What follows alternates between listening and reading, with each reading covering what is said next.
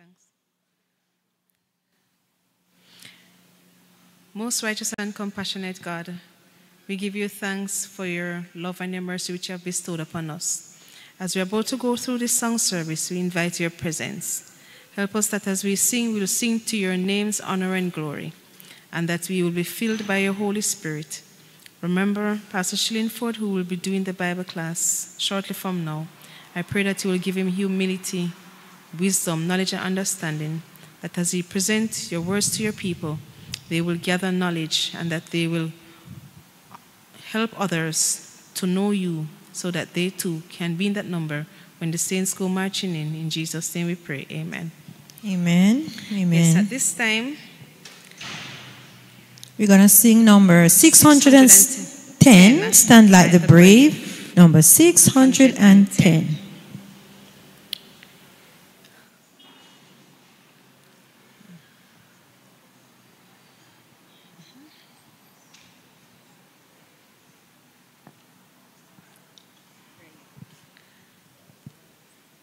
O Christian, awake, 'tis the Master's command, with helmet and shield, and a sword in hand.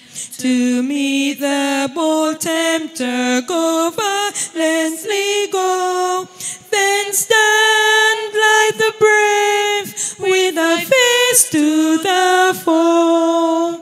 Stand like the brave, stand like the brave, stand like the brave, with thy face to the foe. The cause of the Master with vigor defend. Be watchful, be zealous, and fight to the end. Wherever he leads thee, go violently go, and stand like the brave, with thy face to the foe. Stand like the brave, stand like the brave,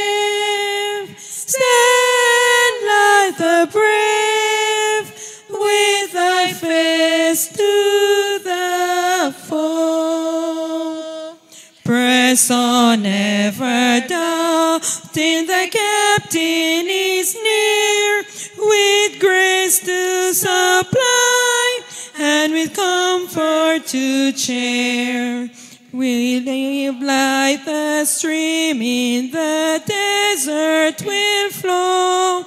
Then stand like the brave with thy face to the foe. Stand like the brave. Stand like the brave. Stand like the brave with thy face to the foe. Amen. Number 272. Give me the Bible star of gladness gleaming.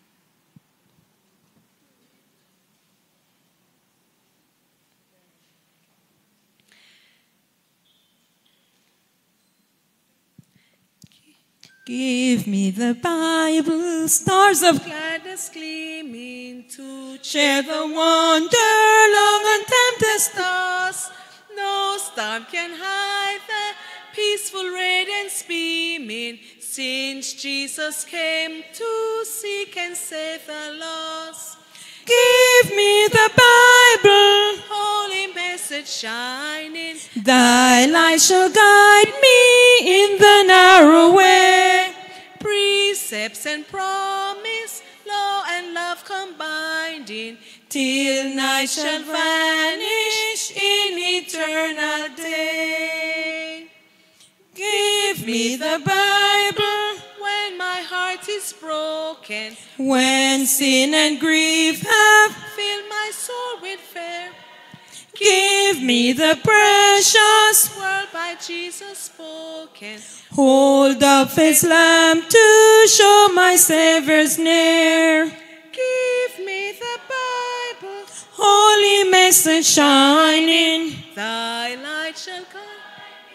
In the narrow way, Precepts and promise law and love combining till night shall vanish. in eternal day. Give me the Bible, all my steps enlighten. Teach me the danger of these realms below.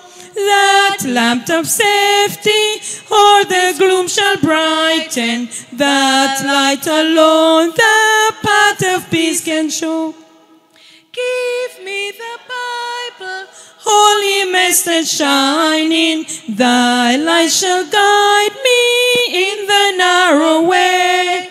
precepts and promise. Law and love combining, till night shall vanish in eternal day. Amen. At this time, we'll have our pastor, Pastor Joel Shillingford, who will be now coming forward to give us the Bible class. Thank you.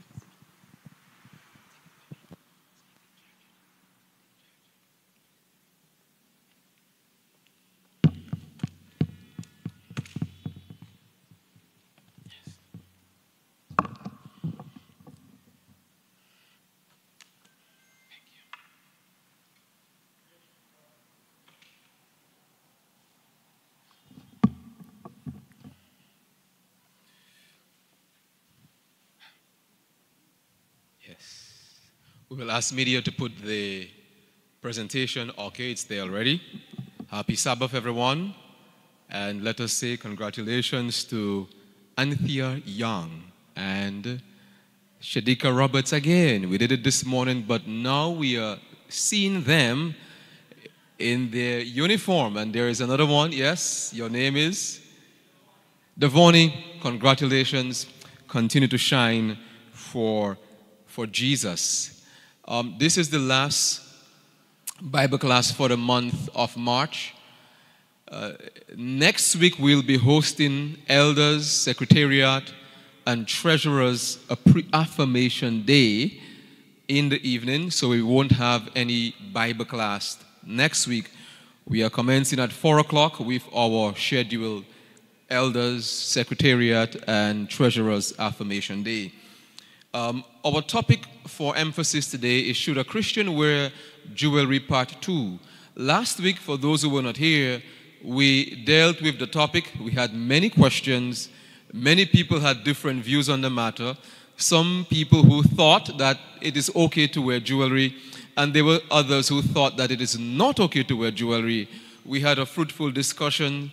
We agreed to disagree. However, we stood on what we believe as a church from Scripture and the spirit of prophecy. And we stopped on a few slides, but let me just review what we dealt with last week. We dealt with a variety of text that spoke about the issue of jewelry. We laid the foundation and we indicated that jewelry could represent many things in Scripture. Sometimes it is used to refer to opulence, wealth, and sometimes it is used in a very derogatory um, way, or not derogatory, but it's used in a negative way. Take, for example, Exodus and Genesis, Genesis 15, Exodus chapter 33, thereabout. And we surveyed the gamut of scripture regarding the matter of jewelry and the Bible's position on it and why our church believe what we believe. Now, my friend Brother Thomas, it is not okay to be to simply be a part of this church. It is it takes more. You need to know what you believe. Apologia. You need to know what you believe to give an answer to those who ask of you.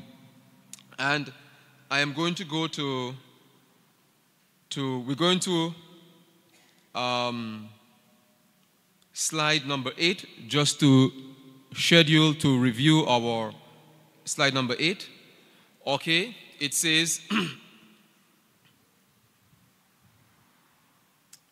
we'll take it from slide number five. It says, we are just reaffirming our position on the matter of jewelry.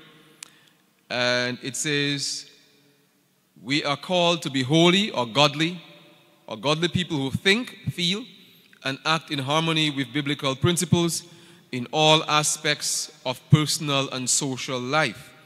For the Spirit to recreate in us the character of our Lord, we involve ourselves only in those things that will produce Christ like purity, health, and joy in our lives. It continues. It continues. Next slide. This means that our amusement and entertainment should meet the highest standard of Christian taste and beauty. We don't have it on the screen. Could you put it on the screen? Slide number, I think it's slide number, the next slide, slide number six. Yes. This means that our amusement and entertainment should meet the high standards of Christian taste and beauty. Now, when Ellen White speaks, she normally makes the differentiation between entertainment and amusement or entertainment and recreation. She points us to wholesome recreation and she talks against this worldly amusement and entertainment. While recognizing cultural differences, our dress is to be simple, modest, and neat, befitting those whose true beauty does not consist of outward adornment, but in the imperishable ornament of a gentle and quiet spirit. Slide seven, as we go to slide seven, she says, it also means that because our bodies are the temples of the Holy Spirit, we are to care for them intelligently. Along with adequate exercise and rest, we are to adopt the most healthful diet possible and abstain from the unclean foods identified in Scripture. Since alcohol, beverages, tobacco, and the irresponsible use of drugs and narcotics are harmful to our bodies, we are to abstain from them as well. Now, this is where it gets a little direct, and this is quoting also from the Seventh day Adventist manual. Slide number eight. Slide number eight.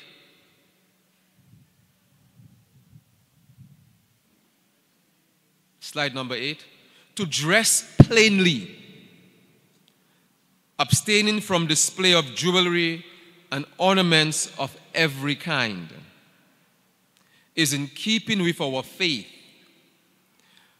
Testimonies, Volume 3, page 366. It is clearly taught in the scriptures that the wearing of jewelry is contrary to the will of God. This is from the Seventh day Adventist Church Manual. Uh, it's page 147. The next slides, it says, next slide. Instead, we are to engage in whatever brings our thoughts and bodies into the discipline of Christ, who dress, who are desires of a wholesome joy and goodness. So, right here we see that the church's position is that its members abstain from the wearing of jewelry or ornaments and makes provision only for the wearing of the wedding ring and also the wearing of a functional jewelry we call a watch. And that's what we permit. Now, as we continue, remember this is part two, we would have laid down the foundation. Please go to slide number 20. Slide number 20. In slide number 20, we reviewed last week that when Jacob left Padanaram and he was journeying back to Canaan, we know the story very well. What happened was that the Shechemites raped Dinah. And Dinah's immediate brothers, I think it was Reuben and Simeon, they had a plan for the Shechemites. They said, You have raped our sister. Something has to be done. And they circumcised them. And of course, when you know when men are circumcised, they become weak. And on the third day, they massacred them. They killed them all. And Jacob is saying, Hey, what is happening? What we are going to do now? We, you have caused trouble for us. And the Lord said, Listen, I'm going to do a new thing. I'm going to bring revival. I'm going to bring reformation. And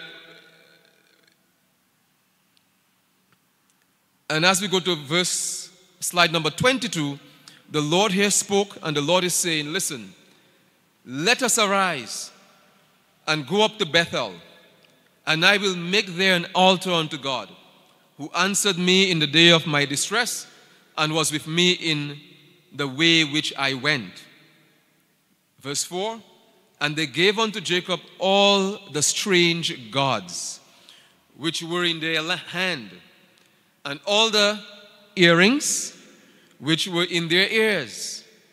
And Jacob hid them under the oak which was at Shechem. And um, so this is one of the scripture passage we spoke about last week. When God was trying to bring about a revival in the land, he asked them to take away the jewelries. Take it away. Also, in Exodus 23, 33, verse 6, the next slide, we understand what was happening. Moses had gone up. The children of Israel, they went, they gathered the gold and they made a, a golden calf with it. And the Lord says in verse 6 And the children of Israel stripped themselves of their ornaments by Mount Horeb. He was going to bring a revival and judgment. And he said, Listen to me. You have to get rid of those. They are something between me and you. I don't want you to have them. I don't want you to wear these. I don't want you to have them as my children. In fact, these are idols. And that is what it was really saying in particular. Now, we also, if you go to verse slide 26, we also spoke about the issue of Leviticus 19. Leviticus 19 says, um, He shall not make any cuttings in your flesh for the dead, nor painting any marks upon you. And back in Israel, as we explored last week, the Lord told them, Listen to me, don't paint yourself, don't cut yourself, don't pierce yourself, because I am the Lord. And so he warned them against paintings, and, and it is for this reason why we encourage our members not to get tattoos, not to pierce, not to cut, and so on, because within the scriptures we have seen where the Lord forbade his children to do this. Now, we are going to move on now. We stopped on slide number 29. And if you go to slide number 29, yes, this was the last thing I showed you last week. And you said that, what did you say? You said this is not good attire. Right? What did you say last week? Come in, yes, come in, come in, take a seat. So last week, last week you said this is not good attire. And um, come downstairs and ask the question, please.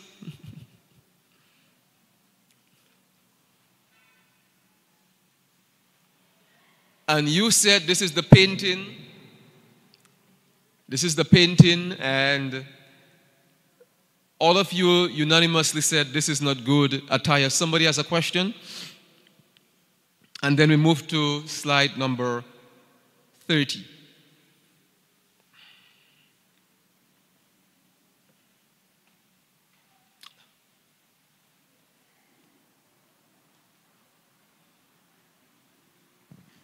Okay, Pastor, so um, based on that text a while ago, it says you should not put any cuttings or piercings in your skin for the dead me and my friends are conf- confused about the for the dead part, so we're wondering, like, what does that mean?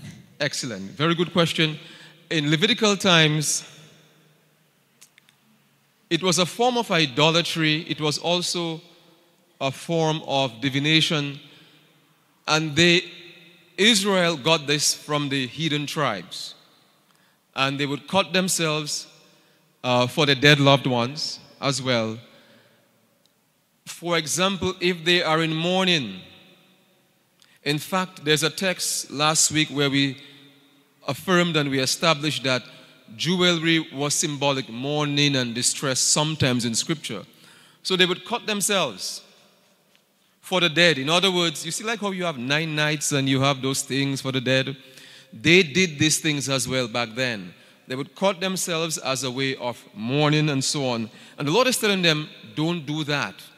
Don't do that for the dead. And um, what happened is that because the children of Israel spent a lot of time in Egypt, they were sort of oriented within the Egyptian way of life. And the Lord had to wrestle with them for many things, many, many things. Additionally, when we look at um, the story in Kings, where there was a showdown, Elijah, Elisha, and the prophets of Baal, what did they do? They what? They cut themselves. In ancient Mesopotamia, cutting themselves has some significance. And that's within the culture. The Lord is saying, listen to me. I don't want you to do that for the dead. I don't want you to pierce yourselves. I don't want you to mark yourselves. Body marking is not something new and fresh. It is something that has always been around. Piercings, markings in African culture, in Eastern culture, in Mesopotamian culture, people did that. And the Lord is saying, Listen to me, I don't want you to do that as the heathen does. You are a peculiar people. I want you to be different. So, hoping that this was answered to you. Now, we know our friend is here who had challenges last, last, and we're happy she's back. She asked a very profound question last week. Now, amulets. One day I got a call from a family, and this is very important here. And the child, about three or four years old, could not sleep. In fact, that child was so mesmerized that he was acting bizarre, strange, like something was after him. In Jamaica, you all would say, Doppia follow him. And they called, and I said, There must be something in that house. Sister Young, must be something in that house. Yes, there was. So the house was rented by a family before, an African family. And what they had, they had several amulets African spirituality, potions. It was locked up in a room. But that's where they would, the lady would do her chanting and her, you know, her dance and so on. And I said, there must be something here. Pastors came and prayed and nothing. But whenever the family engaged, they are Adventists, the family engaged in worship, that's when the child became most angry, uncontrollable, vexed. Little boy. Upon time, you know, this room was entered. All of the amulets and potions and so on. There were amulets, and I'm going to show you a, a picture of one very soon amulet, synonyms amulet, a charm, such as an ornament, often inscribed with magic incantation or symbol to aid the, way, the weave or the wearer or the wearer or protect against evil. Is that familiar with you? In Jamaica, they have guard ring, right? They have guard ring. People wear jewelry to identify with their gods. In ancient times, people wore jewelry to identify with their gods. So, amulets. Now, in today's day, and I'm not sure if you, you all would have known about Kasamba magic, Kasamba psychics. It's always on YouTube. You watch, you know, you, you know it? Yes, man. Kasamba. Kasamba psychics. Yes. You watching YouTube and it just show up. And this lady say, I went to my psychic and I had a difficulty with married men and I was with a married man and, and the psychic told me something. You know, you know, Kasamba psychics, yes, it's all over. It's very popular these days and there are versions of it in Jamaica, in Montego Bay and so on. But what you see now is that people have become so so much lost and so much wanting hope that people go anywhere for hope. And uh, so, this is just to say here so, they would give you an amulet. Next slide amulet. So, in ancient days, this would be a jewelry, but this amulet here would be for a particular purpose. They would pray over it, and it would be like a guard for you. It would be a sense of protection because someone would have had a sort of a divination service over these amulets and they would have prayed over it. So when it is sold to you or given to you, you believe you are protected. And in ancient days and ancient customs, these were worn as amulets. And as I said, in ancient customs, people wore jewelry to identify with their gods. It was not just for attire, it was not just for as an enhancement to your clothing. People wore jewelry to identify with their gods. So much so, when you, hear, when you see somebody with a cross, right? A chain with a cross, you naturally think, but perhaps they are Christian or so on, because it sort of identified them with the Christian faith.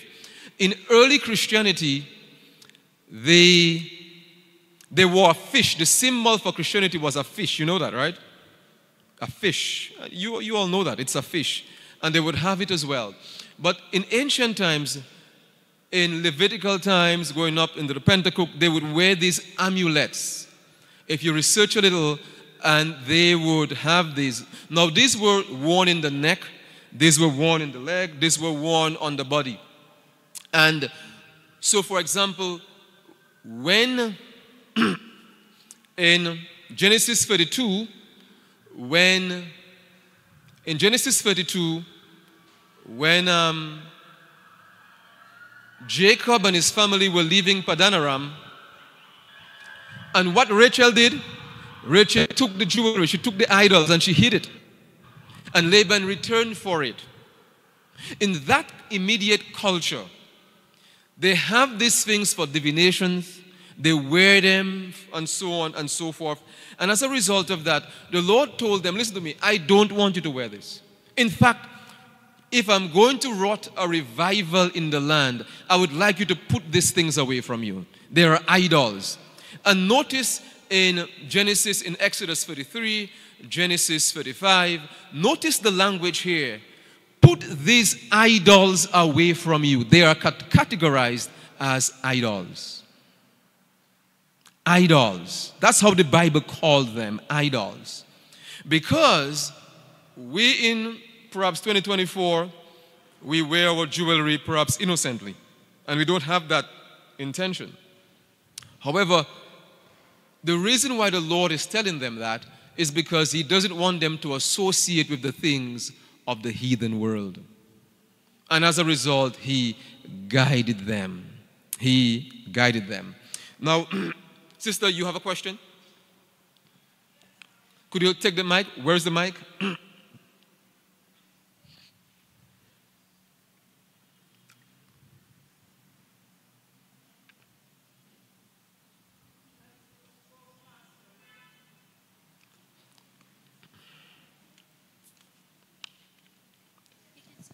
my thought went back. Um, I don't know, do you see anything resembles what I'm about to say resembles what you have just said? I have any connection? Has okay. any connection? It's about astrologers. Yes. Like, you know, For example, I'm a January born, I'm Capricorn. I don't wear necklace, I don't wear anything, but people wear things that they think that they can go without. Yeah. And uh, they will not leave the house in the morning until they hear Yes. what today will bring. What can you say on that? Thanks. Very good question. And although it's not linked to jewelry, the topic, but it's a thought worthy of um, contemplation and worthy of also commenting. The, that is astrology, and we are warned against this. And uh, it is becoming more popular among Christians. So you should not say, Sister Campbell, a march me born, a saw we tan. I match, you know. And you go in the horoscope, and you see what match bonds within that time is going to happen to them, you are very much good as a soothsayer.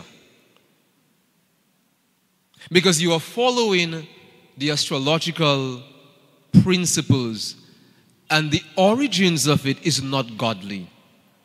We are identified as God's people not in the month we were born, but by who we are in Christ. Are you with me? Our personalities differ, our families of origin differ, our, our temperaments differ. We are different and we are diverse in, in behavior and so on. But who we are as individuals, it must be grounded in the person of Christ. So we don't, and they say October borns, them this, them say October borns, and I grew up hearing that. And when I heard that about October borns, I sort of behaved like that too. Because you are sentenced. Because March born, they are feisty and they love their own way. And June born, they, they, they are they hardworking. And September, they will trace you for nothing. And, and January born, I saw them tan. And even when we hear, see people behave a particular way, we, we say, I saw a January she born man. That is not of the Lord. We are who we are in Christ. And we don't subject ourselves to cycle. But very good question you have asked. Now I'm going now to the next slide. The, the, uh, the next slide. Yes. Now these are sold today as jewelry. These are sold today. In fact, you can purchase one. You can order one. In fact, um, lately there was uh, there was a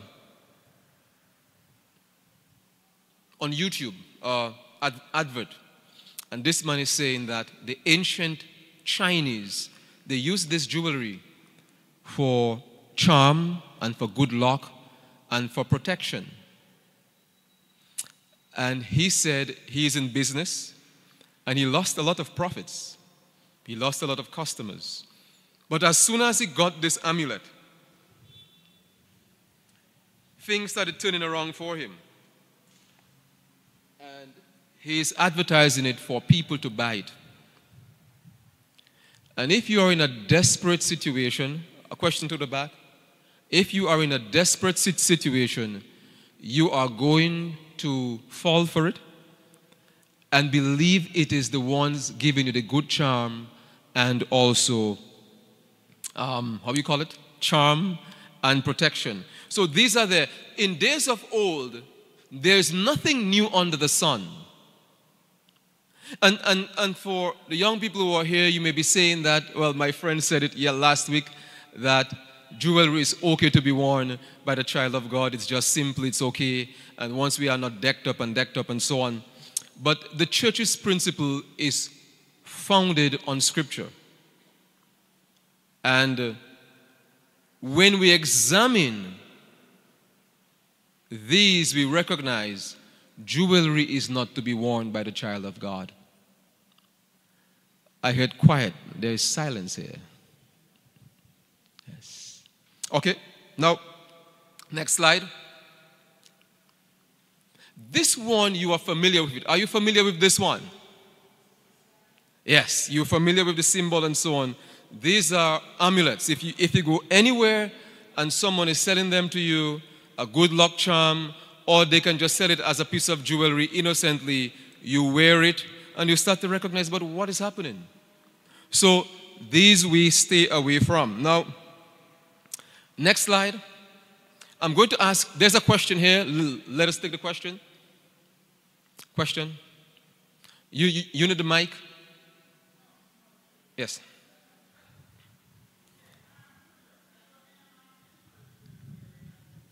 Yes.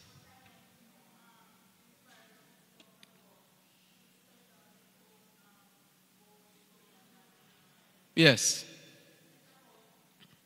Just amethyst and crystal and, and emerald and yes.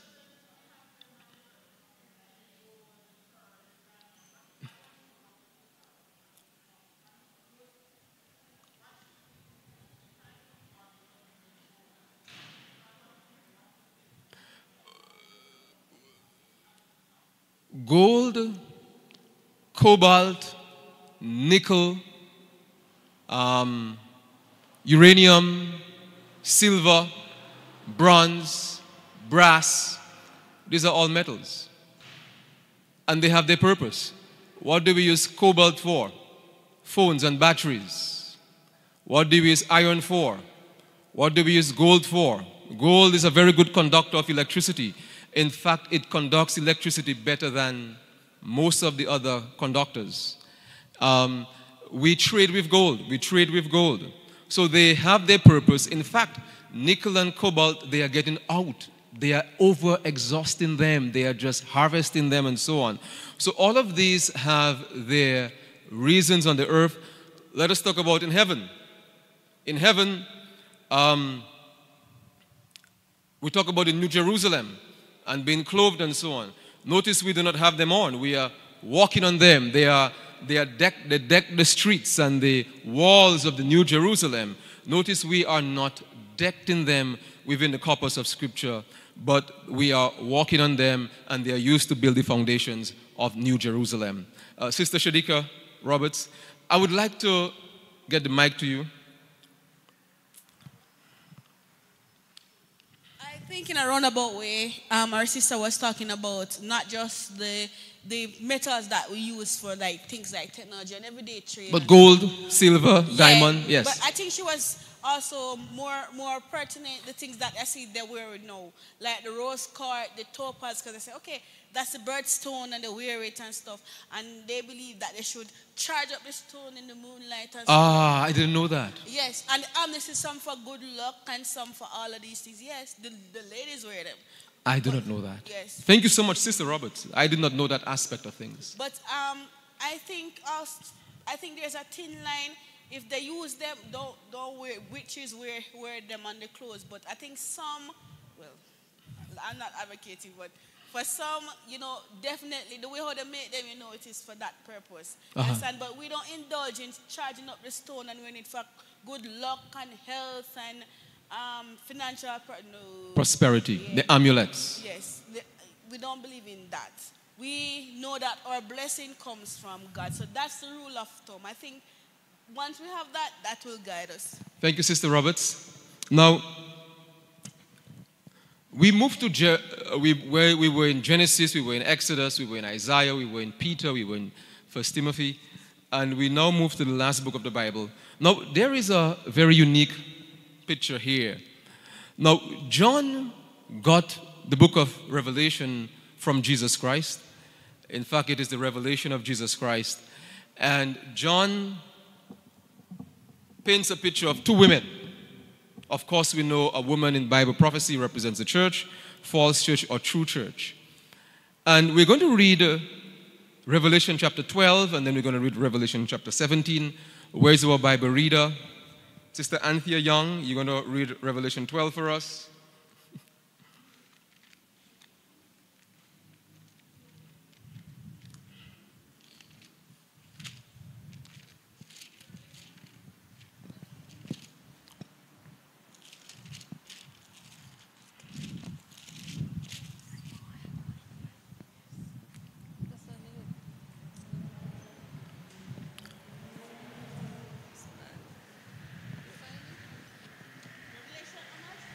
Revelation 12, read from verse 1.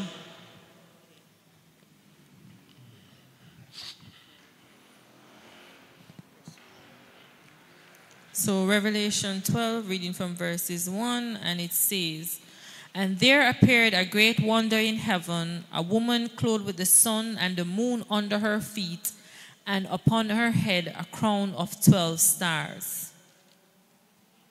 Continue. And she, being with child, cried, travailing in birth, and pain to be delivered. And there appeared another wonder in heaven, and behold, a great red dragon, having seven heads and ten horns, and seven crowns upon his head. And his tail drew the third part of the stars of heaven, and did cast them to the earth. And the dragon stood before the woman, which was ready to be delivered, for to devour her child as soon as it was born. Thank you so much. We're going to move over to Revelation 17 now. So this is the pure woman we know in Bible prophecy. And notice how she is described.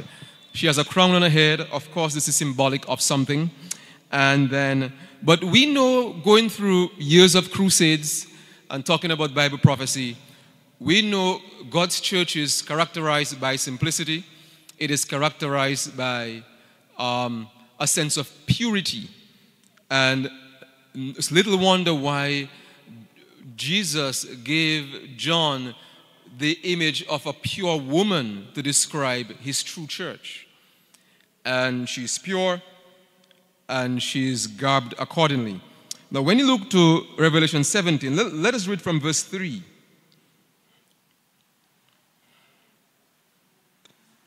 Verse 3? Yes. 17, verse 3.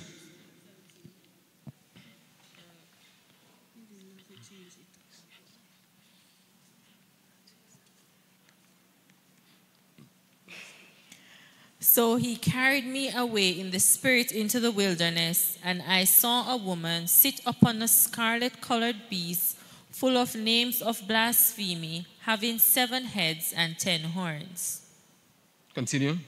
And the woman was arrayed in purple and scarlet color, and decked with gold and precious stones and pearls, having a golden cup in her hand, full of abominations and filthiness of her fornication.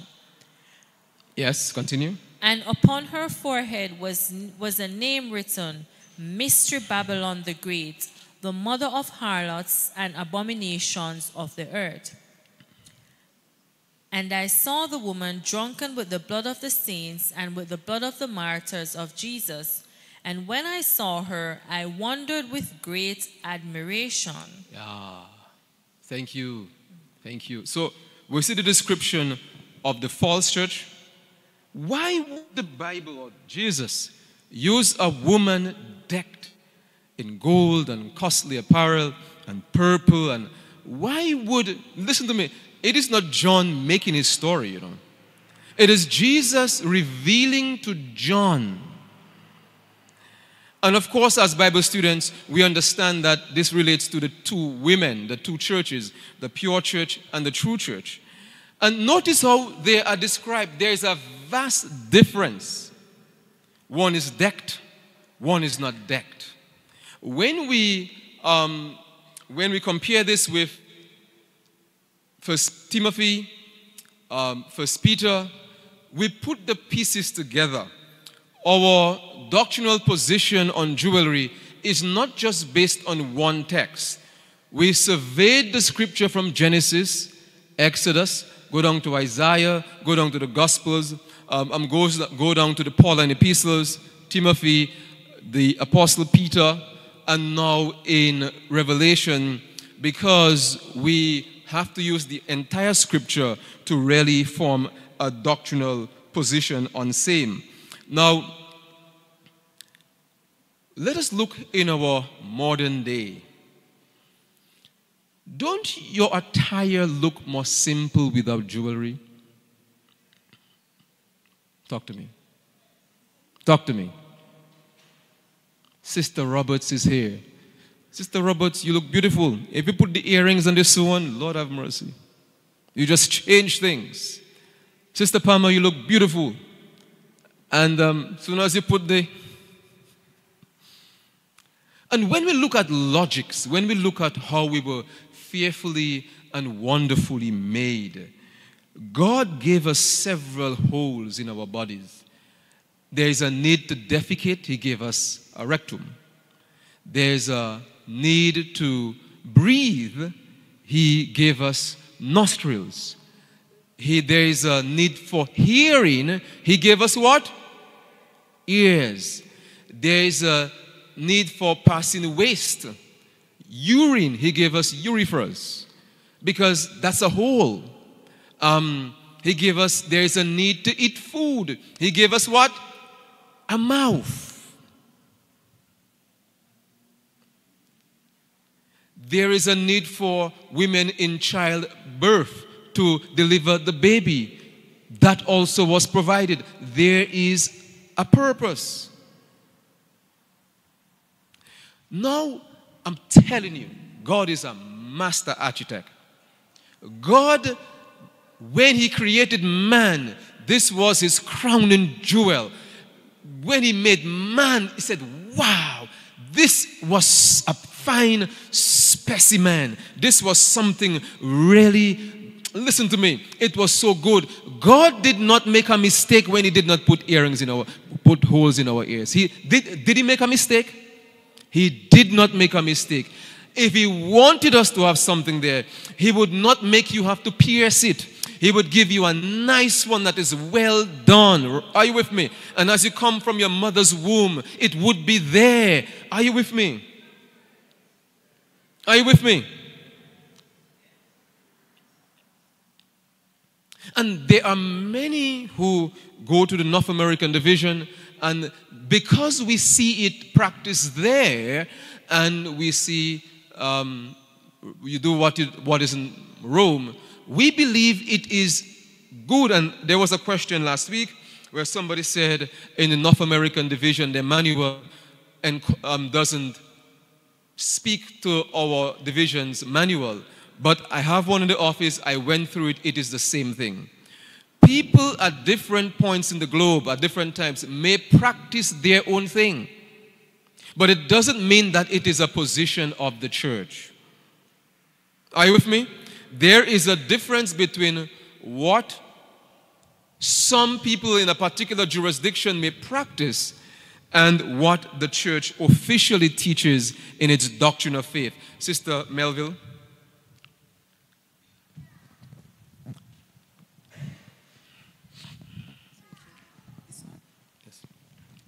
Um, Pastor, I love Bible class, and I'm happy for the information that you're sharing, whether we want to believe it or accept it or whatever. But Yeah. I'm just wondering now wedding bands, Yes. who should wear or who shouldn't wear it? Right. I, I ask, Yes. um, I kind of old fashioned. I am married for 35 years. And I'm married for a- 12 years. And I had a band, uh, my wedding um, ring. Yes. I saw them some time ago. I have never worn them anywhere, but they were dedicated right here, and I, Yes. I- right. But I'm just asking now. Those days, I didn't see men wearing bands. What can you say about those? In fact, questions? in 1986, and I should have brought a document here, the North American Division put out a release about wedding bands. And it, you'd be surprised to hear what they said about it. A wedding band is jewelry. Within the context of our church, we see it as functional jewelry. It says something. Now, the manual states that in cases where the custom permits wedding bands, it's right here, we, it's right here, we read it. The church doesn't prohibit the wearing of a wearing band. But if you are asking if it is jewelry, it is jewelry. Now, there is functional jewelry, and it comes under functional jewelry. Now, early on in early Christianity, now I wanted to do studies. The Puritans, the Puritans, and I forget there was a one who rebelled against the Catholic Church very early in Christianity. That practice of wearing a wedding band is from about very early in Christian's history. Very early. In fact, there was a council held, and I don't like to talk when I don't have the exact quotation, to ban the wedding ring. In fact, there was a council with, it was the Catholic Church, and they were trying to ban the wedding ring, and the reason why they wanted to ban it. However, it is accepted within our ranks. Now, we need to teach the members that you don't to be married with a wedding band. You don't have to. There are people in Jamaica who believe that once you get married, you must have a ring. This is just tradition, long standing tradition. But where we are as a church, it says in cultures and customs, where the wedding band is permitted, we don't prohibit it. Now, that may seem like double standard to many, and I can understand why you say that. I remember my conference president went overseas, not in Jamaica, in, in another part of the Caribbean. And he said he went, he was, his wife was not there, and was in a hotel, and the lady, some lady started to give him attention. It was attention enough to notice. And he said to her, Well, you know, I'm a married man, you know, I'm married. He said, But I don't wear your, so where is your ring? You are misleading me. You don't have a band, you don't have a ring. So once I see you without a ring, I take it to mean that you are single. So go wear your ring. and of course, afterwards, he wore his ring. But that is just one isolated case.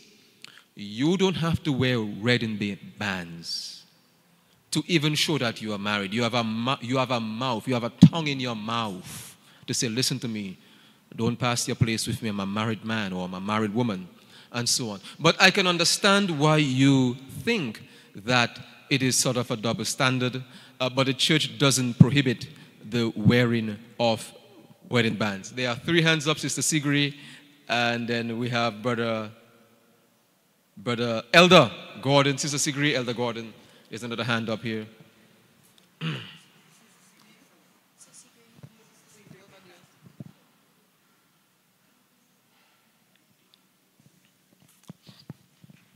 Um, my question is, Pastor. Yes.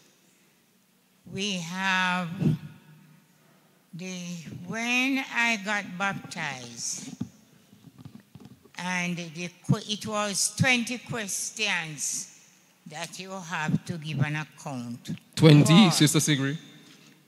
Um, at the time when 20? I, 20, it was 20. We have to, I are 23. I somewhere in the 20s. Okay. Anyway, one, it was said, Do you believe in mm-hmm. the writing of Ellen G. White? Yes. And it's still there. Was, yes. Now, what you are saying there now with the custom, mm-hmm. which of them is stronger? The word of the man that was not inspired or the word of the person that was inspired? Yes. Which of them should we stand by? I'm almost certain, and, and, and I'm going to look at it in Testimonies, Volume 3, that the servant of the Lord is also making that statement. Don't quote me. I'm going to look for it for you. Um, I'm going to for you. Um,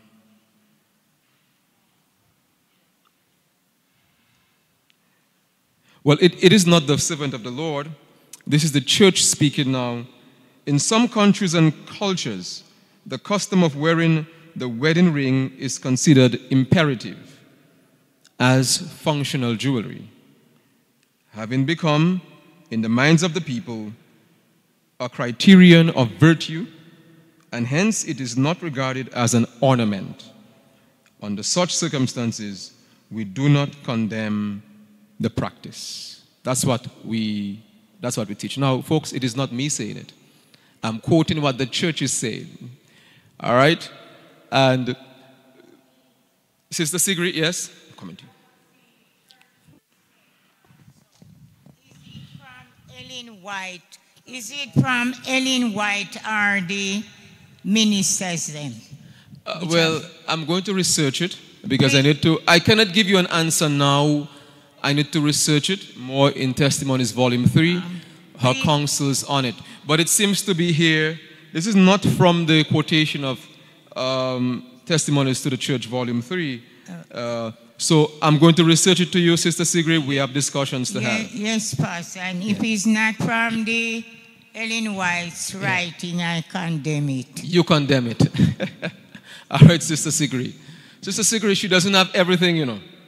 She doesn't have everything, and light still continues to, to, to, to be shared on the hearts of men. Um, Elder Gordon, and then we go to Sister Roberts. Yes.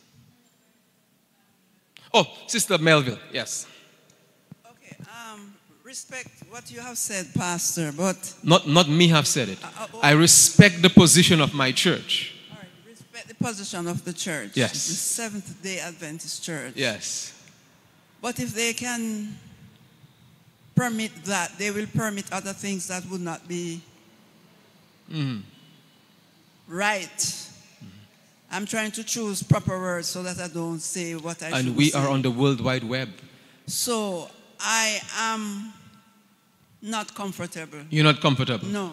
All right, so we have some I'm more talking to comfortable because other things can come into play where it's not biblical, but the, the church. Mm-hmm. And I noticed you said the church. So it's like you tell a child, don't do this, but you do it. Okay. You know, so we need to really straighten up ourselves, especially now that we are can be seen and heard from different angles. Amen. Amen. Sister Gordon, Elder Gordon, rather, Elder Gordon. I, I am a little confused. Yes. Not really confused, if you know what I mean. Um, I just want to make a point that the married ring Yes. actually represents the disk of the sun, Mm-hmm. which is linked to sun worship. But as you said, that, as- you said, and I agree somewhat, is that it is functional jewelry. But there's a challenge. I was having a little conversation with my wife, Yes. and she's saying that anyone can decide what is functionary uh, jewelry. So there's a very thin line there. Mm-hmm. But we must be clear that the ring, the reign of the ring, comes from sun worship. We, we, we must know this, which is not to say that we are worshiping the sun if we decide to, to don mm-hmm. the, the ring. I don't wear, wear the ring. And nobody troubles you. Well, no, no, but that's not the issue. I, I, I understand the point you want to make, but that's the issue. Yes. But, but we must have the knowledge. We must be made aware, Yes. um, um, Pastor, Yes. that it comes from um, sun worship. But we are not saying that person should not wear the, the married ring. Mm-hmm. But I'm a little concerned though, because I am a little late. I don't know if we have shifted a little from the true church and the false church.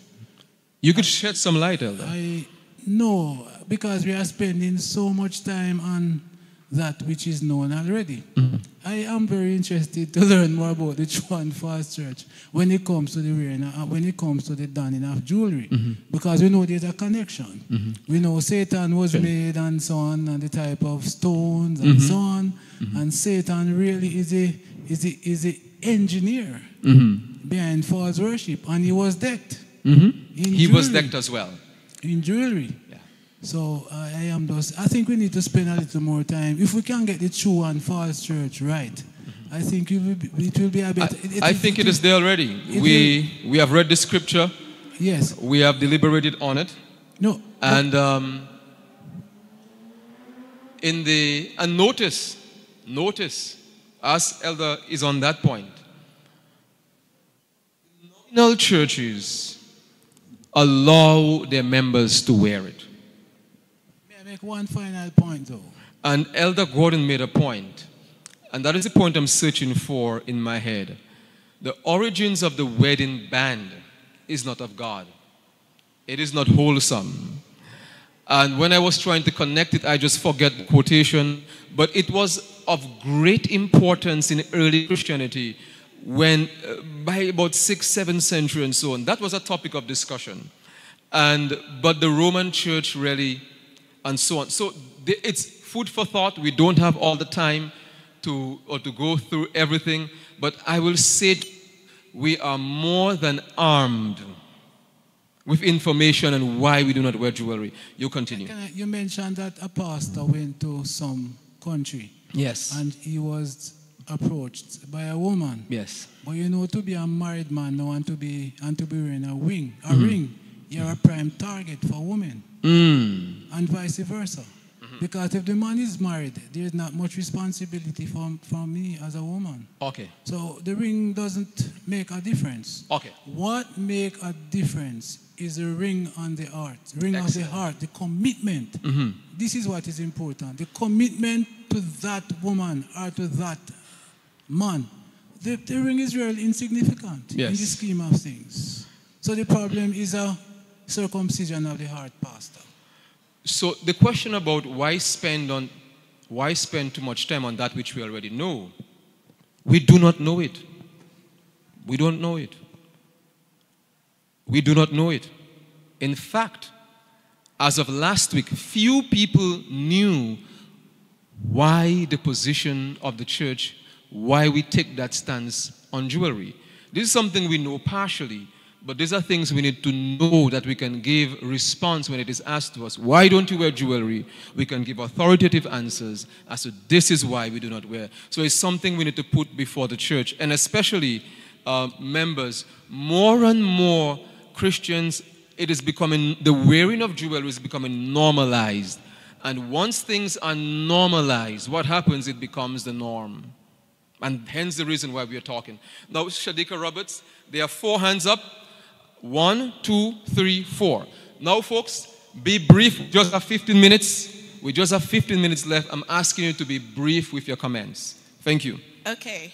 All right. Um, a couple rule of thumb. The first rule of thumb, is that God has his truth, and then the enemy has the counterfeit. Mhm. Right? Um, to Elder Gordon's point about the the whole ring and what it symbolizes, right? We also have a position that the ring also symbolizes unity, but because they know that the world have um, perverted everything that is true, and then then there's this school of thought that says, shun the very appearance of evil. Mhm. Um, the other thing, some customs, which is some can be personal and some can be cultural, but um, I think our sister was trying to get there, but she never finished get there. Does culture trumps doctrine, or does doctrine trumps culture? You Yes. understand? So we should be careful of that. You know, that our personal conviction as well as what the, the, society says Mhm. we must examine does it align with what the scripture says Okay, thank you so much. And religion is sensitive to culture. But we believe as a church, where culture deviates from what the Word of God says, we uphold what the Word of God says. Uh, briefly, thank you. Yeah, there's a piece, um, I think his testimony is to ministers. Yes. It says, not one penny should be spent for a circlet of gold. Speaking about the wedding band. Yes. To testify that we're married. But it goes on to say that in countries, and I think that's where the church's position may come That's it. from. It says in countries where the custom is imperative. Yes. Now, I don't know what that means. Imperative means you must wear it if you are married. Right. So only in countries where it's imperative, then it says we have no burden to condemn those who have their marriage ring. Let them wear it if they can do so conscientiously, but not let our missionaries feel like the wearing of the ring will increase their influence one jot or tittle. Thank you. So you have you have just read from Testimonies to the Church, Volume 3, page 366, 65, 66, and then the church gave its commentary on, and it's coming from the manual as well. Thank you so much, and very much food for thought. Um, don't wear it. And I think Ellen White's stance on jewelry was so against it. she was very much against it. Um, one, two. Who was first, husband or wife? Wife, go first. Happy Sabbath, everyone. yes. Um, could you shed light on the, is there, uh, there are similarities with regards to the ring that the, remember the, the, the parable with the prodigal son? Yes. When the father gave their son that ring Yes. versus married. Yes. And that question came up last week on this end. One, there are certain times in Scripture, Scripture is detailing the custom of the day. Not that it is supporting the wearing of the signet ring. So, in the parable given in the book of Luke, it's not a real story, no, it's a parable. And the story is given when a son in the culture, when a son is returning home, a signet ring symbolizing welcome, I accept you, is given. It is not a biblical concept, it is that which was practiced within the culture in which the Bible was written to. And of course, it is going to be reflected in the scripture. But this is a very important point because whenever the topic on jewelry comes up, that question comes up and so on. It is was cultural in first century Christianity to do so, but it doesn't mean that we are asked or it is permitted that we wear it. Um, husband. Before, I, before he answers, Yeah. I mean, says Yeah. um, his question, are you saying that we should negate the fact that married ring is wrong? Should we accept that mar- wearing marriage ring is wrong from as a Christian? Because remember, you know, the pastors, when you're getting married, the same Adventist pastors are the one who ask you, are there any rings? Yes. So why, do- why do they pray over it and sanction it in a way so that it becomes, you know, Okay. I'm going to read again. It was read, this is the third time we're going to read it. And in some countries and cultures, the custom of wearing the wedding ring is considered imperative. And the imperative we see here is you are must, you are under obligation. And there are some cultures like that. Having become in the minds of the people a criterion for virtue, and hence it is not regarded as an ornament. Under such circumstances, we do not condemn the practice. And I will tell you, when you read the writings, you will recognize we are not for wedding bands. However, it is permitted. It is permitted. And there are many of you all who think it's double standards. There are many of you all, but we can go on and on and discuss this. But where it is imperative, we do not consider it as ornament, but um, a criterion for virtue and so on. And under such circumstances, we do not condemn it. I will tell you, sister, that the question of wedding ring has been normalized.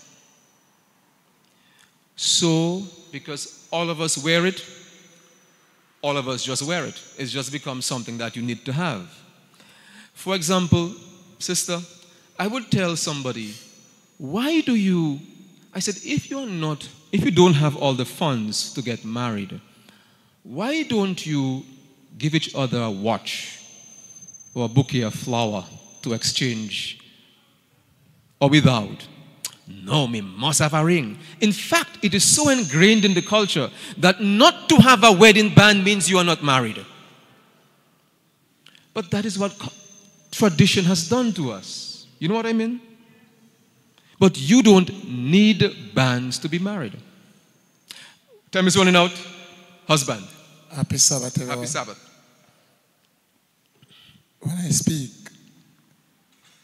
I speak about facts, not opinion. Many can hold on an opinion, but I'm speaking on facts. I surely know that everyone inside here, most of the members inside here, drove a car. And you can't carry a license plate. Am I correct? You can't carry a license Yes, plate. Yes, man, it carry license plate. Okay. I don't take off this unless I am angling bleach. Mhm. That's the only time I take off my bag. Yeah. No, the, the, the marriage ring that on the person hand represent license plate Mhm. and the vehicle. If somebody stole a car, there is no way you can find it. Yes. So look at it that way. Okay. Uh, uh, very thought provoking point. The ring is a license. And, and by the way, within the culture, that is what it is. And, and don't laugh. That is why our churches said, you know what, in cultures and countries, we permit it. But is that really what the Bible and spirit of prophecy teach? Of course, in days of old, that was practice. Jewelry was given in a form of a dowry in ancient Me- Me- Mesopotamian, just as in Indian time with the Indian culture, Eastern culture with the dowry, it is given. But when we look at the entire corpus of Scripture, from Genesis down to Revelation, we are seeing here the seam, the, the message that is here, that we are receiving here, that jewelry, as part of attire, jewelry should not be worn. Now we are going to, I'm getting the, the time signal. The young people in our church have this question many times. And I don't think we try to indulge them enough or explain to them enough and to give them sufficient information that they can be armed to answer the question if they are asked. And I will tell you, not only in Jamaica, but across the globe, the youth have this question. Now, this is one question being asked by a young person, very intelligently put. It says, My question has to do with the wearing of jewelry by Adventists and the baptizing of new members who wear jewelry. Isn't it, isn't fundamental belief number 22, Christian behavior, uh, very clear about onward adornment? And in our church manual, it seems very clear that the wedding ring or the wearing of jewelry is not in keeping with our faith. Why is this being allowed by leadership and not being addressed? If, in fact, this is still one of the fundamental teachings, not only of our church, but even greater of the Bible. Josh from the United States, and um, here the response given. Josh, you are right that the topic of adornment is addressed both in our fundamental beliefs and in the Seventh day Adventist Church Manual. Um, I don't have time to read everything. So the person said, yes, the practice continues. Uh, but he goes on to say, this means that our amusement and entertainment, quoting from what the manual says, and let us remember that it is not outward adornment that expresses true Christian character, but the hidden person of the heart. When the incorruptible beauty of a gentle and quiet spirit, which is very precious in the sight of God. And, and, and so it, it really falls back on our principle of attire. Simple. And I will tell you something. Joshua's teacher, um, my friend from Cedar Grove, lady in green, the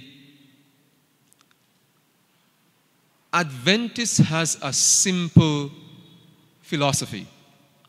When you read through our writings, it says Adventist funerals and weddings should be characterized by simplicity. Are you with me? We should dress, and one of the feature of our dressing is simplicity. Our homes, simple. The idea of simplicity is really ingrained in Scripture. And Adventists are characterized, or should be characterized, by simplicity. and especially for the issue of attire, how we dress. This is of most importance to God, how we dress, our attire. And although attire doesn't mean that you are a Christian, there are some well, simple dressed demons and devils. Yes, they don't even believe in God. But we are saying the Christian and attire, it should be simple. A question was asked last week can you imagine Jesus decked out in jewelry? Dog, me a bore me ears there, you know.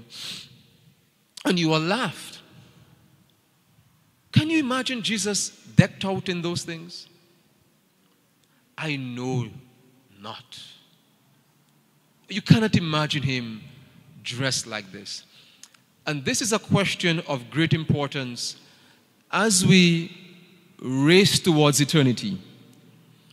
The question of attire is going to be a temptation for you, Sister Roberts. And I want not for you to yield to temptation, but stand as a brave, as a face to the foe. Make your apparel, your apparel and your attire be characterized by simplicity and modesty, what is wholesome God is expecting that of our sister Kadisha, and this is our last comment.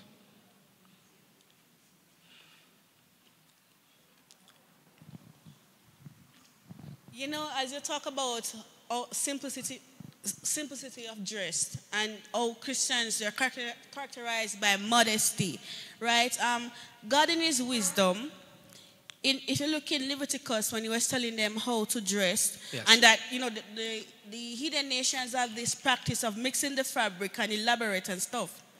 But today we know we call that um, the polyester, the synthetic, and we realize it is not good. They tell us now, the, the scientists are telling us about the core body temperature and what synthetic fabric and mixing the fabric does. So you see, God in His wisdom, you know, and um, the jewelry that the children of Israel got from from from Egypt yes. when they were to, when they were told to you know to to take the jewelry and stuff. It wasn't for idol worship. It was for there to build their trade and commerce. You understand? Based on my understanding of the Bible. It was used for idol worship as well. Yeah, but I'm saying it wasn't for that, but they used it okay. because they used the knowledge. All right, they, they Miriam they received, they, they knew how to, to do the gold and melt the gold. But what they call it, they said male and female mm-hmm. because they know which metal to melt and stuff. But today we have the periodic table. Mm-hmm. And that teaches about metal and non-metal on the periodic table, right? So they, they did not talk, know that it is non-metal mm-hmm. and metal, but they knew it was, they knew how, um, which metal to can mix, to combine, and to combine like the iron and the nickel and the gold and stuff. And you understand why Miriam and Aaron were able to tell them how to do the thing. So you see, God in His wisdom give them wisdom for them to be better, but they corrupted it for their purpose. So everything that you read, that God, you see that God in His wisdom is just guiding us. You understand? Everything that He does is just wonderful, it's just beautiful. If we just follow God's principle, He never steers us wrong. Amen. Sister Kadisha, you are so intelligent. Keep on reading. Folks, let us stand as we pray and transition to AY.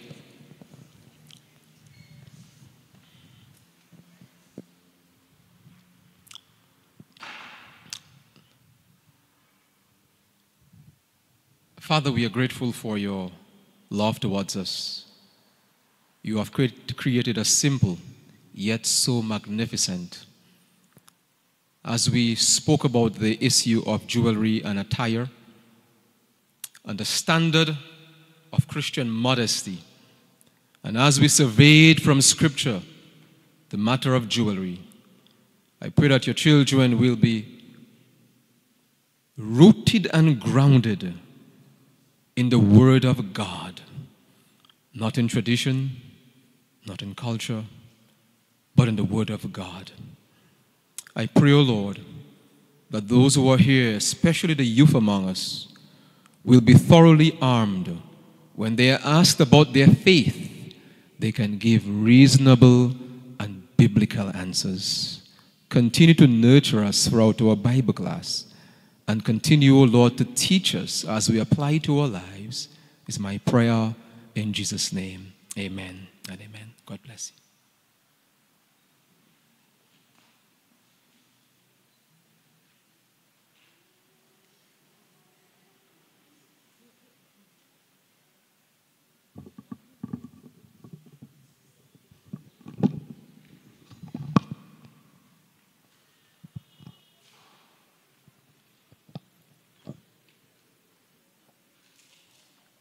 Okay. Happy Sabbath, everyone.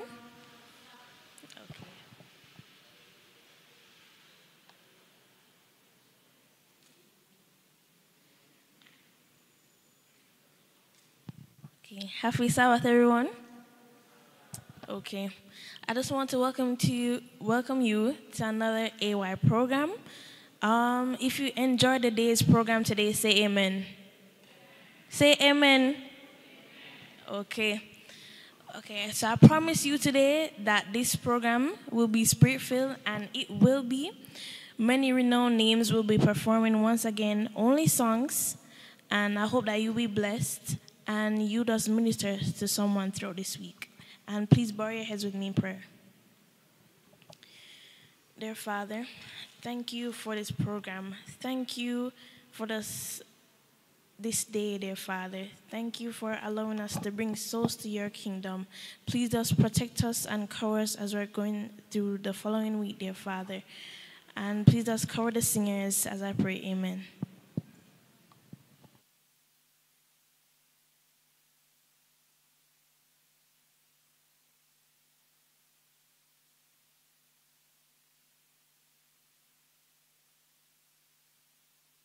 Happy Sabbath, everyone. Can we please stand for the AY emblems?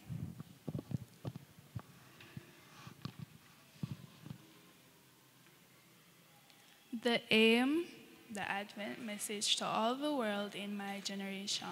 The motto, for the love of Christ compels me. The pledge, loving the Lord Jesus, I promise to take an active part in the youth ministry of the church, doing what I can to help others and to finish the work of the gospel in all the world. The song Adventist youth are we from every land and sea. Together we pray and work and play in happy harmony. We have a faith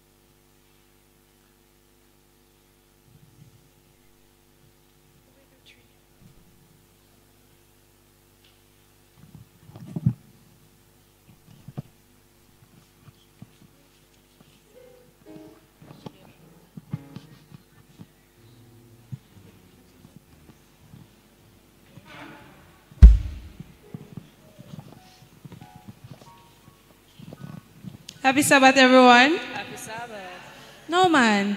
Happy Sabbath, everyone. We'll be moving into our song service, and we'll be starting with the song, What a Mighty God We Serve.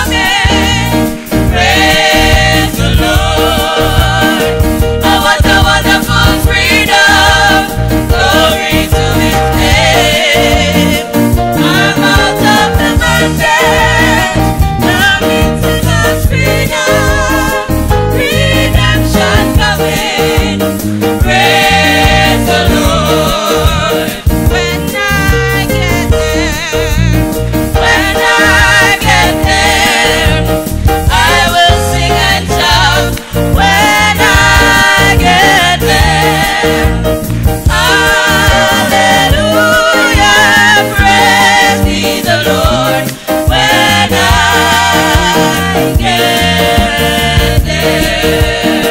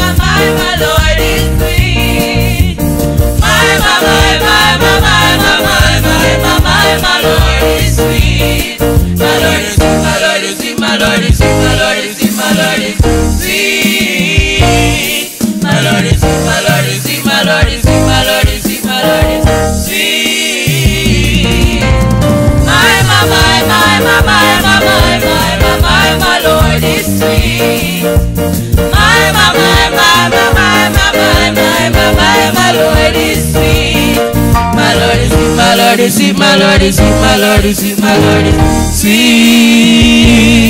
My Lord is sweet, my Lord is sweet, my Lord is sweet, my Lord is sweet, my Lord is sweet. The rock is higher than I. Jehovah guides me. I'm under the rock. Go to my enemies.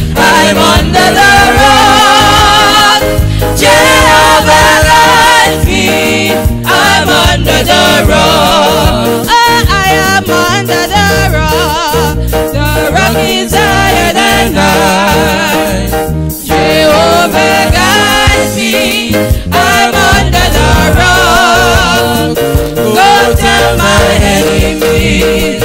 I'm under the rock. Jehovah guides me.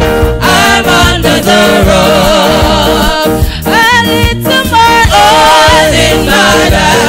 keep it burning. I live tomorrow in my life. I pray. I live tomorrow in my life. Keep it burning. Keep it burning till the break of day. I live tomorrow in my life. Keep it burning. Bela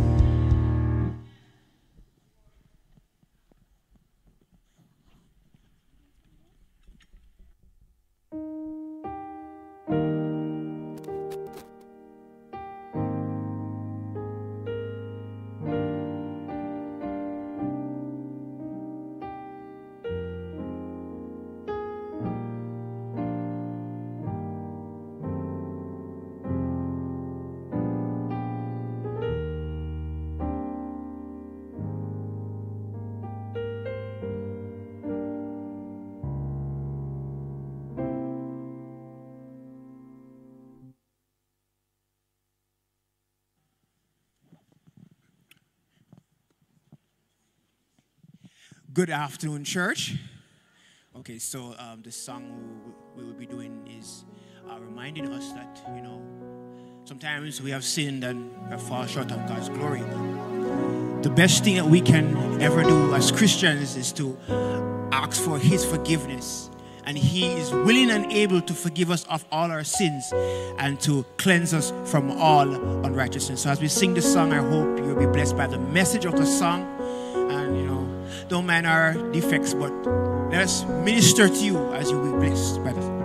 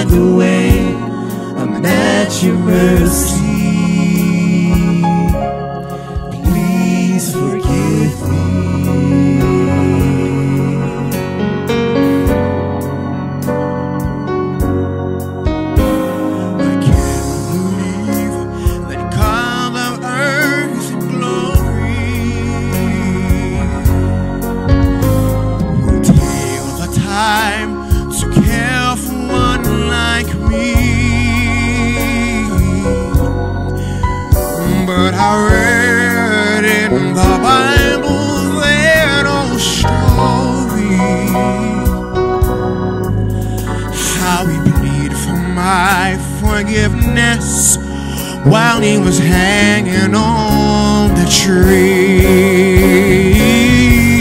Please forgive me. I need your grace to make me through. All I have is you. I'm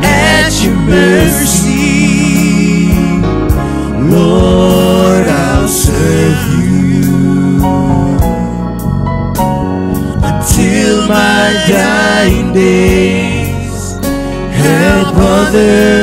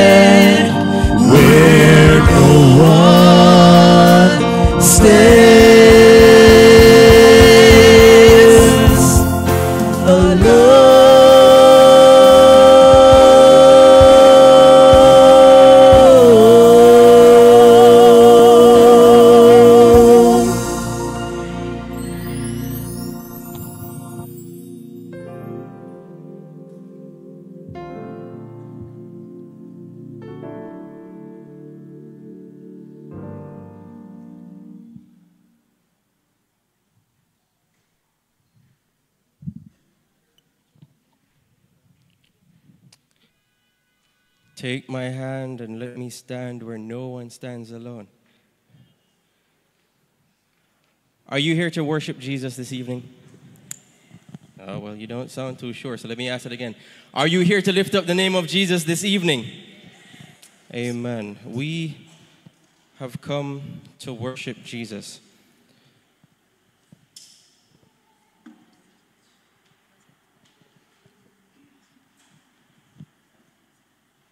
So this song it comes from Psalm 100 that speaks to making a joyful noise and entering into his gates with thanksgiving.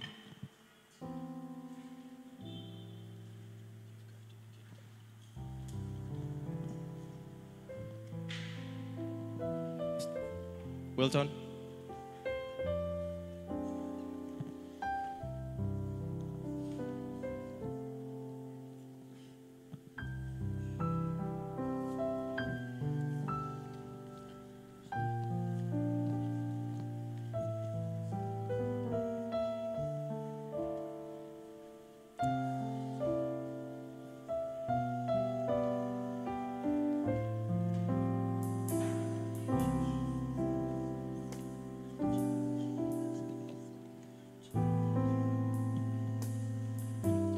Just something about that name. About that name. Master. Master. Savior. Savior. Jesus. Jesus. Like a fragrance. Like a fragrance after the rain.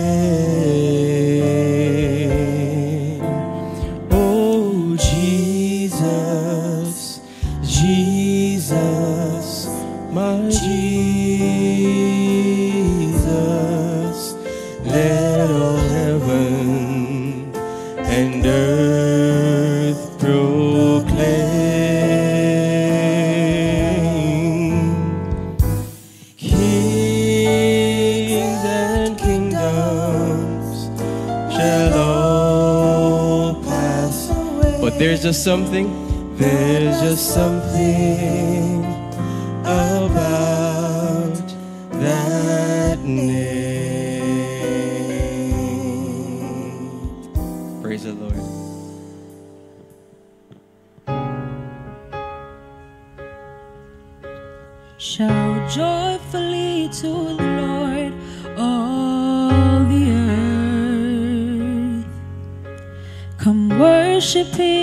before the throne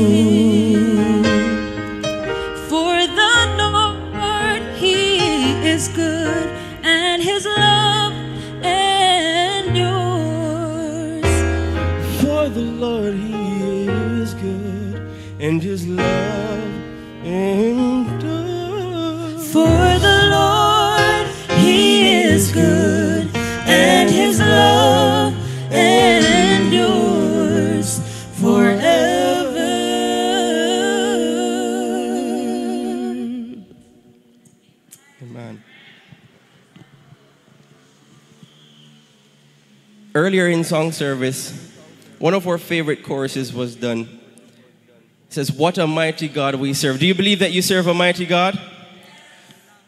Does everybody understand, or does everybody know just what God means to them? Do you know who God is to you? So let's talk about God this evening. Let's talk about what He means to us and who He is in this world.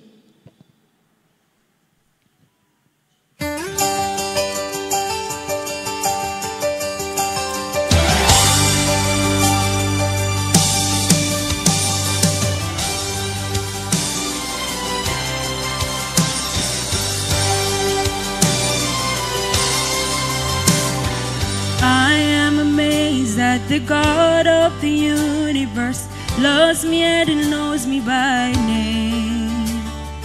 I'm overwhelmed that the voice of creation speaks to my heart just the same. He tells the wind when to breathe and be still. He calms my heart when nothing else will. The God that I serve is the God of Abraham, Jacob, and Isaac, and all who believes. He is the Lamb and the Light of Jerusalem, Bethlehem's Holy One, Messiah, my King, Master and ruler of heaven and earth.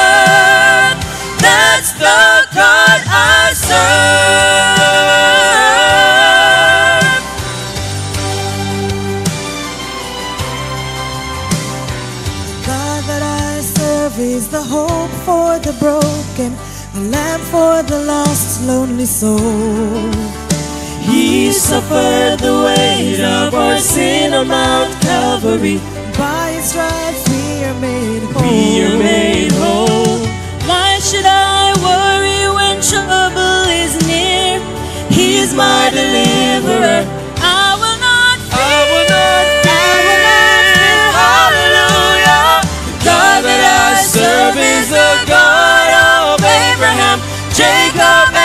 Isaac, and all who believes. He is the Lamb and the Light of Jerusalem, Bethlehem's Holy One, Messiah, my King, Master and ruler of heaven and earth.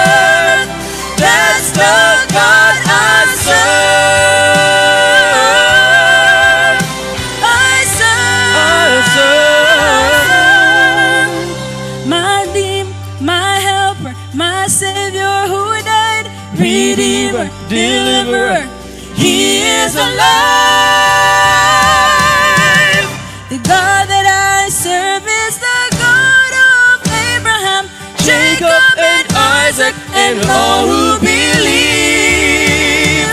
He is the Lamb and the Light of Jerusalem, Bethlehem's Holy One, Messiah, my King, Master and Ruler of heaven and earth.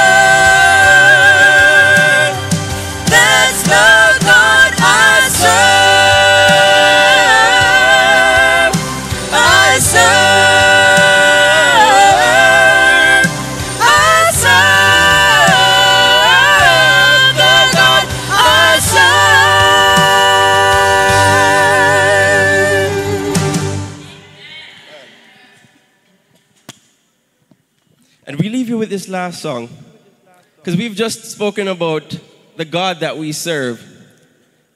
We are so thankful for his spilt blood that gives us the opportunity of having the gift of eternal life. Amen.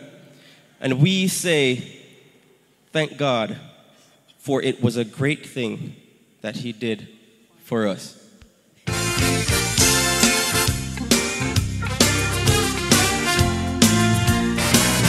The Lord has brought me through all my troubles. And when I failed Him, He didn't cast me away. He stood right by me through all of my troubles. When I was lost, He didn't let me go astray. He took my sin and set my soul. He cleaned me up and made me whole. Jesus died on Calvary so the whole wide world could see it was a great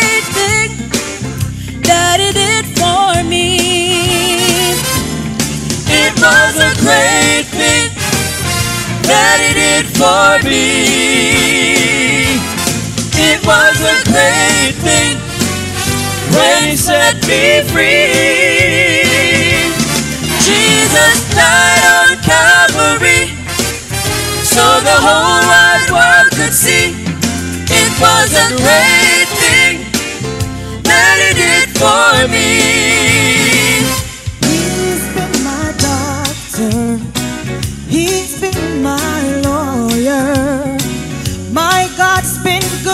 To me. He's been my friend.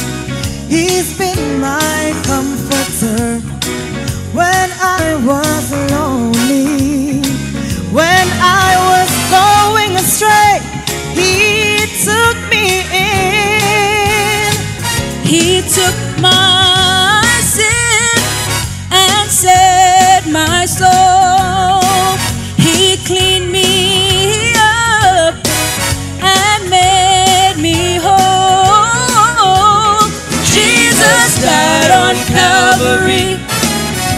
so the whole wide world could see.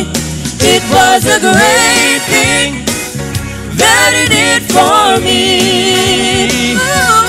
It was a great thing that He did for me. It was a great thing when He set me free.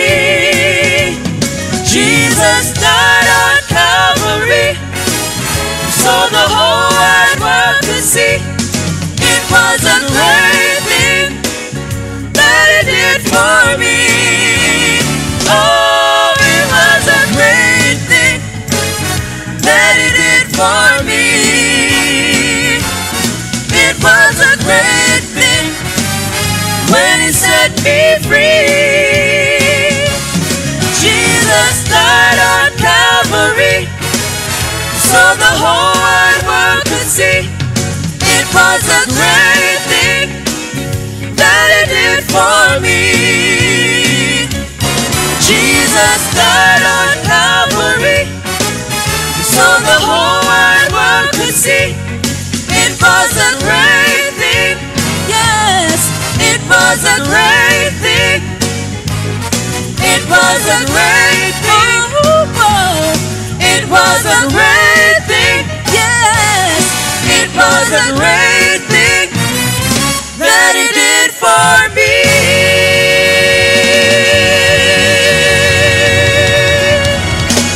Hallelujah. It was a great thing. Amen.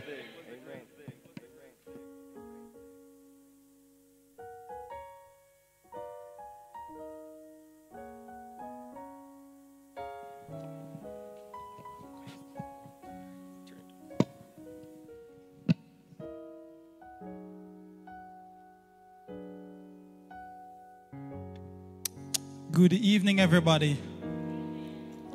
This has been my first time singing here, so I would like a bit of a better evening. Good evening, everybody. All right, so um, the question was asked Do we know what God means to us? But do we know what we mean to God? So much that He sent His one and only Son to die for us. The song that they just sang said that it was a great thing that he did for us. So the first song that I'll be doing will speak about the love that God has for us.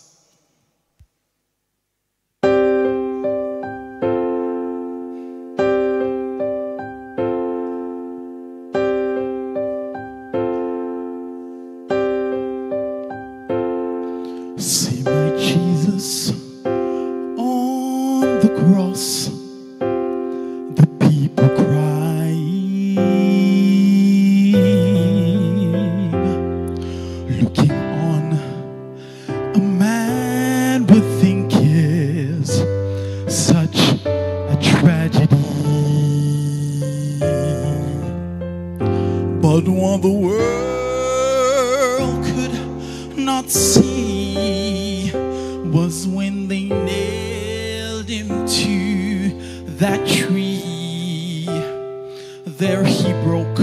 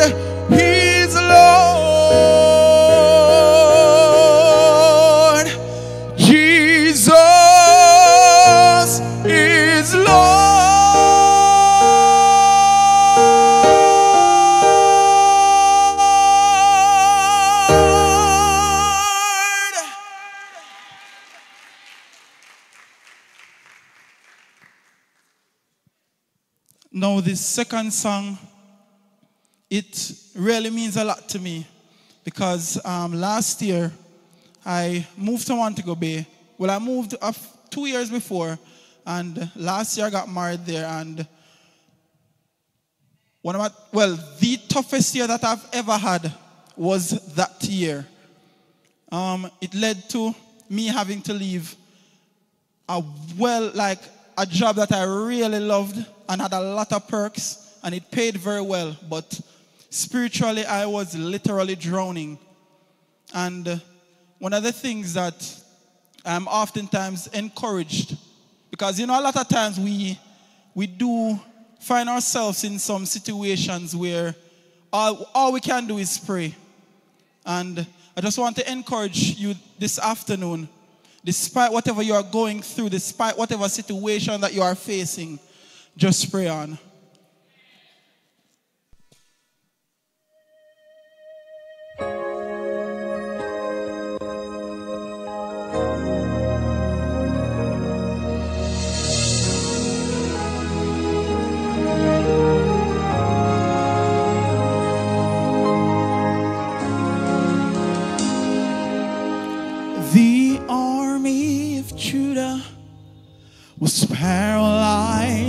By fear when they heard the mighty multitude was quickly drawing near.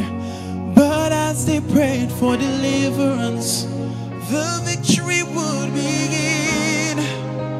For when we call upon the Lord, we summon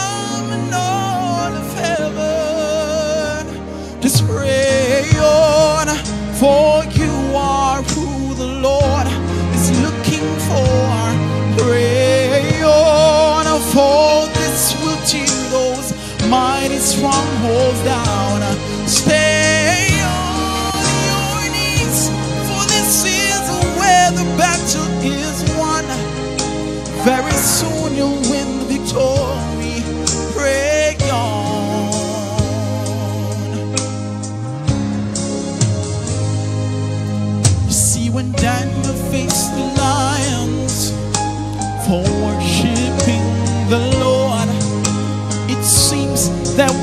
no hope at all for what would be in store. But when we stand on hope,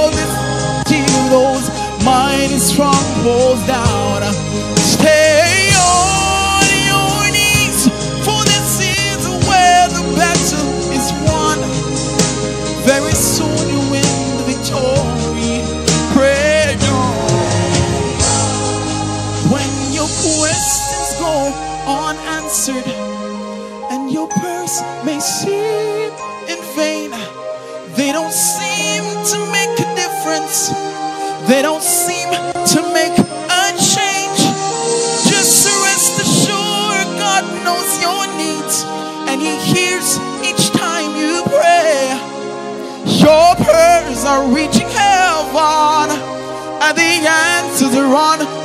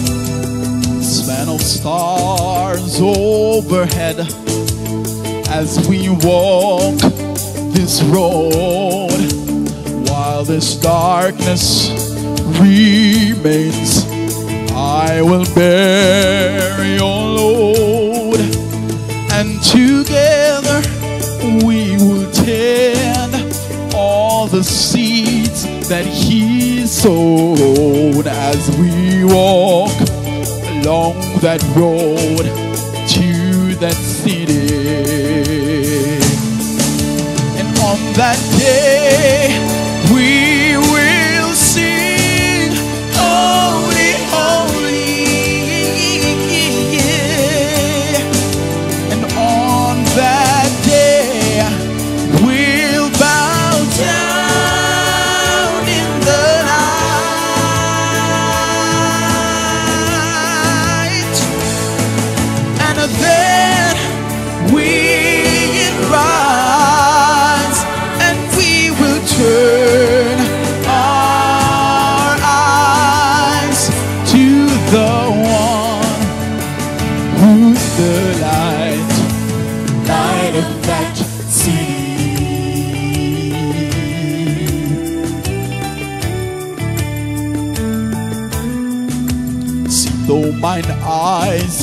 they can't see what is waiting there, and though my mind it can conceive all that God has prepared, and then the blind will see the sun. What was old will be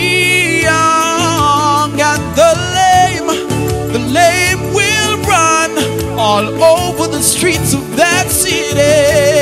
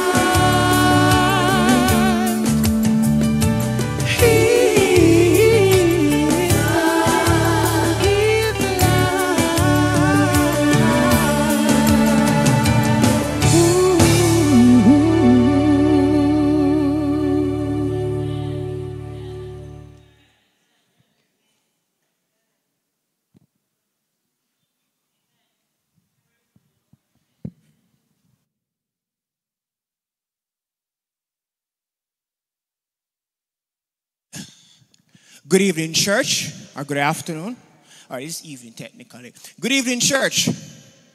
Good evening. Uh, so, this song I'll be singing reminds me that on this earth, uh, we seem to have heavyweight champions like Muhammad Ali or, or the most fearful in the box ring, uh, Mike Tyson. But I'm reminded that there's a, a great champion, a great head boxing weight champion, and that is Jesus Christ. He is the champion of love. So I hope you are blessed as I sing this song.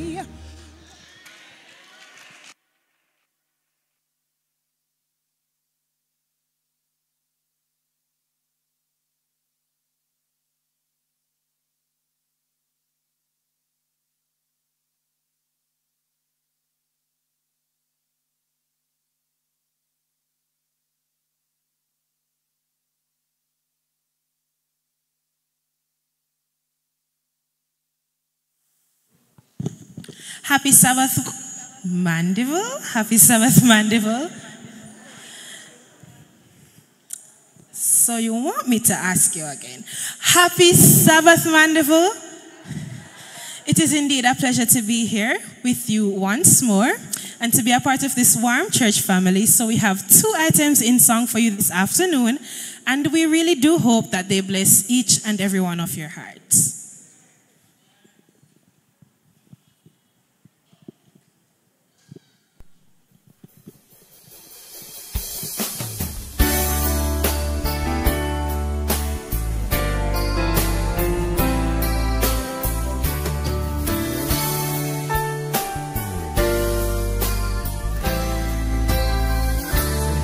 Times I've questioned circumstances or things I don't understand.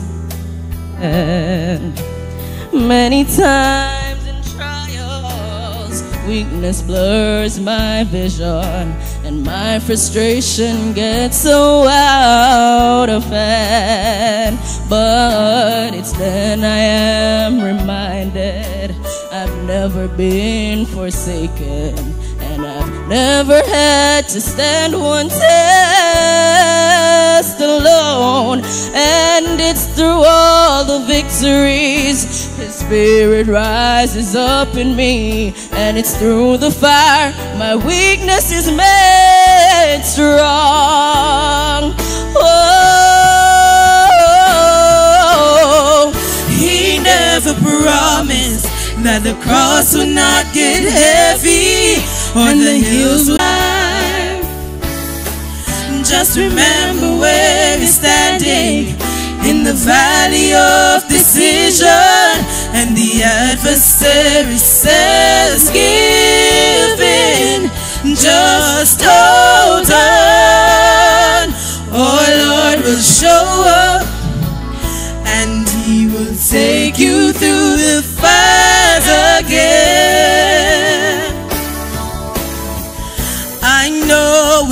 myself that I will surely perish. Oh, but if I trust the mighty hand of God, He'll shield the flames again, again. He never promised that the cross would not be heavy or the hills would not be hard to climb. Offered my victories without fighting, but he said help would always come in time. Just remember where we're standing in the valley of decision, and the adversary says, Give in, just hold on. Our Lord will show up,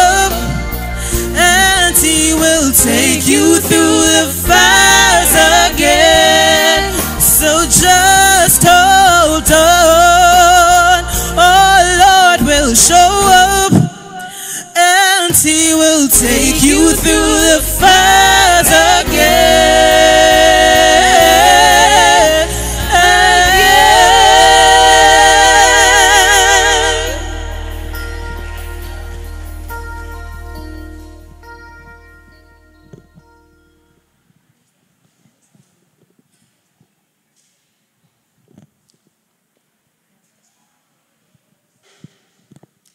All right, so we spoke about God delivering us through our fires. Have you ever, you know, been in certain situations, you know, you just feel like the devil, the devil I try and him I try hard. Him I try hard. I just feel like you're in a storm. I feel like a hurricane Sandy, hurricane Gilbert, every single hurricane you can imagine right? You feel like that's where you are. But then at some point in time, you just decide to, I'm going to calm my nerves. I'm going to take it to the Lord. Yeah. And I'm going to allow Him to just put me in the eye of the storm to rest. Yes. Because why should I worry? Why should I fear? When I can just calm down. Yeah? Yeah, yeah, yeah man. God, He's he knows everything that it is that we go through. And He knows when we need. He knows especially when we need to calm down. So the next song that we'll be singing is Eye of the Storm. And we'd love if you all could sing with us. Amen? Amen. Amen.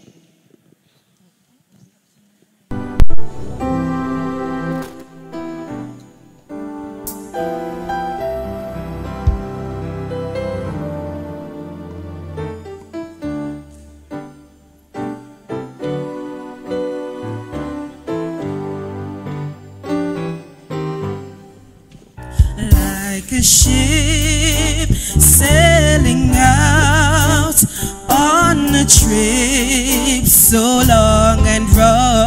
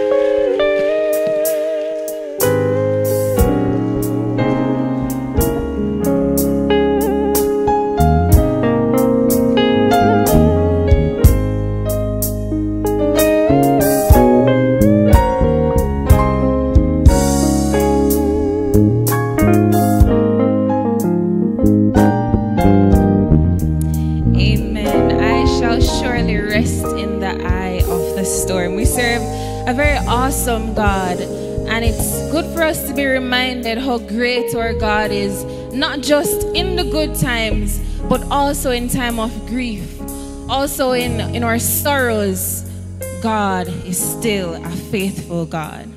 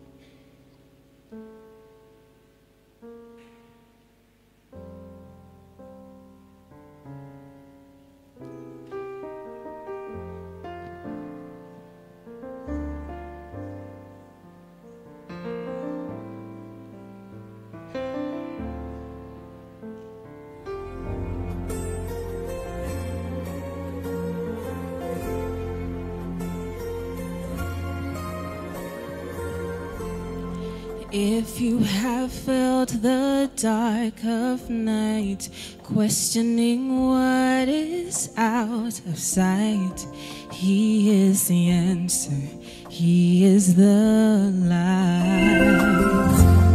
And if you have felt the weight of sin, bound by the shame that's hemmed you in, He broke the chains, He will forgive.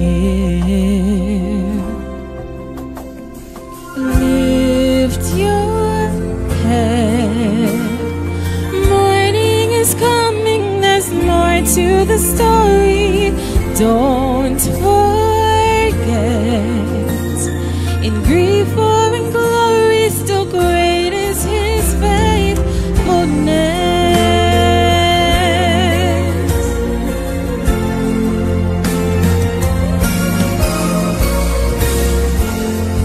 If you felt broken or betrayed, no one to trust, alone, afraid, he'll comfort you. He knows your name. If you've wrestled with the ache of loss and why this has been your road to walk, he bore your pain, he wore your cross.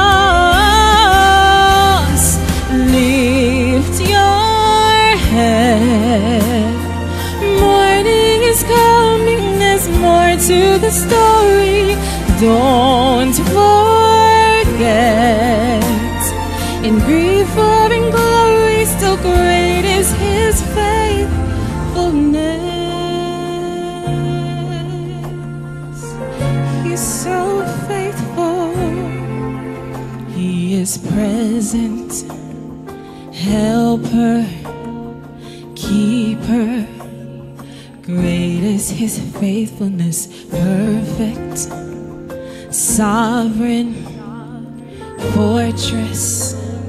Great is his faithfulness, Abba, Father, comfort. Great is his faithfulness,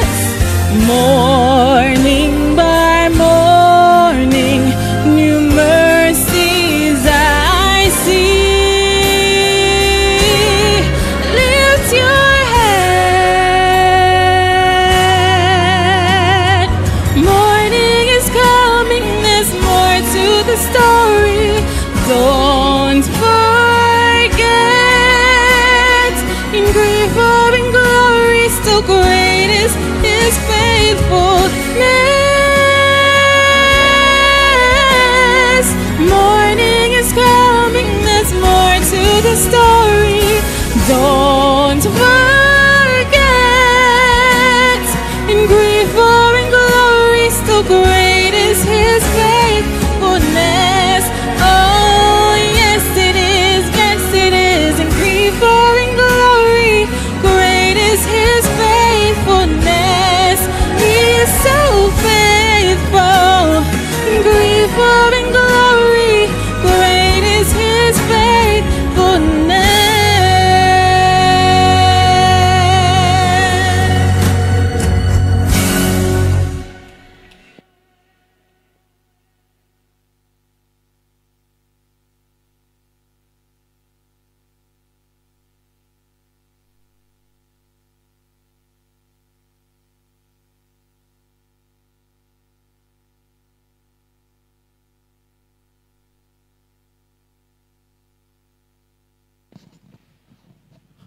Good evening.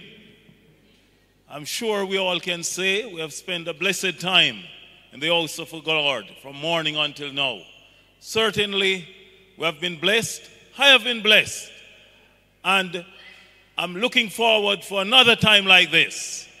God is good, my brothers and sisters, so we have to sing praises and thanks to Him because of His goodness. To close this wonderful day, I invite you, we've been sitting for quite a while.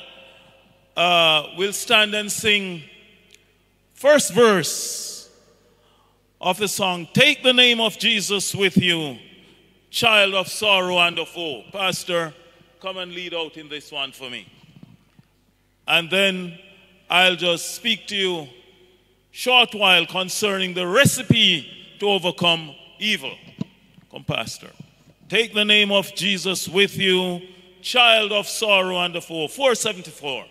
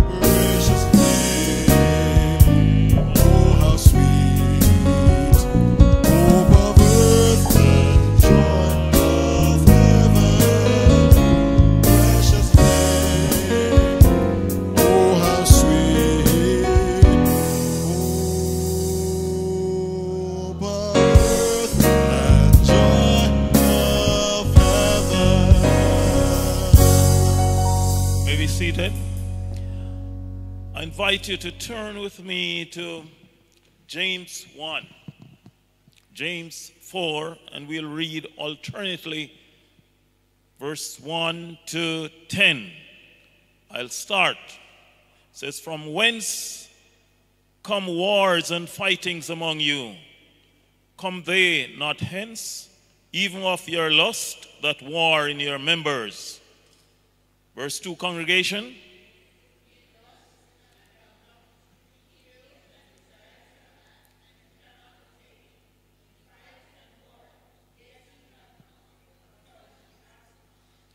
Ye ask and receive not, because ye ask amiss, that he may consume it upon your lust.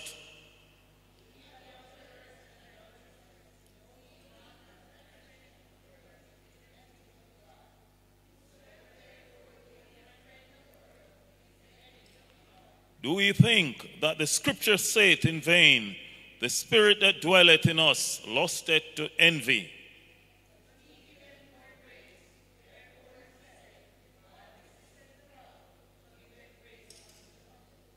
Submit yourself, therefore, to God. Resist the devil, and he will flee from you.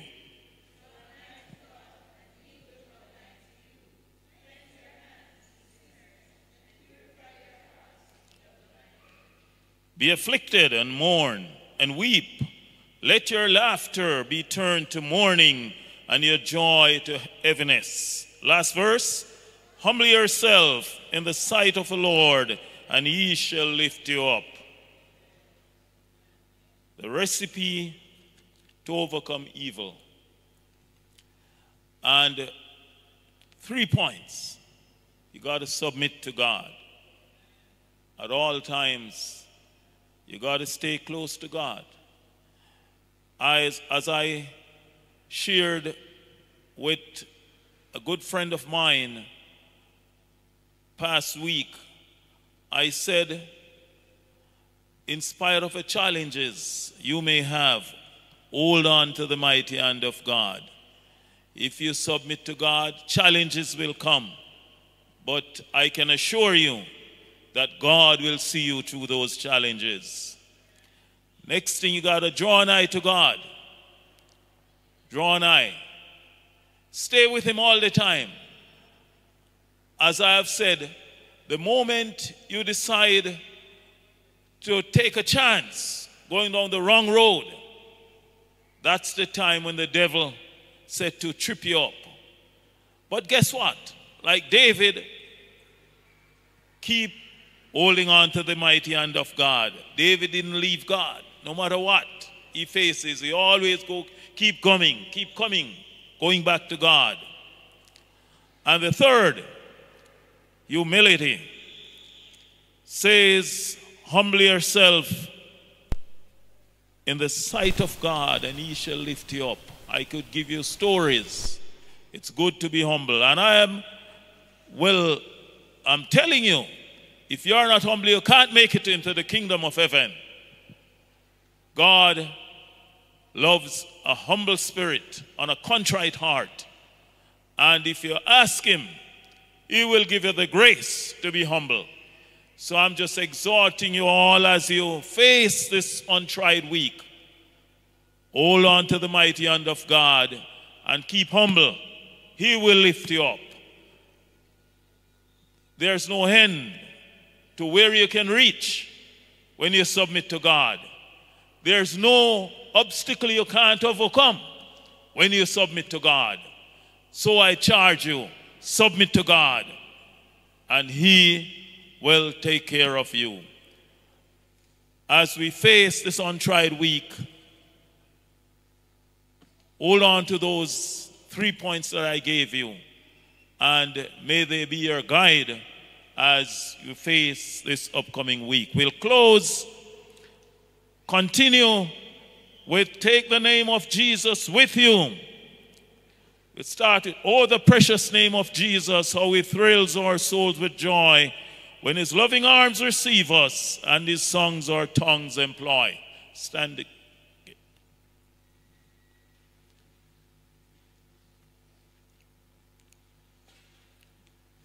Musician, oh, the precious name of Jesus.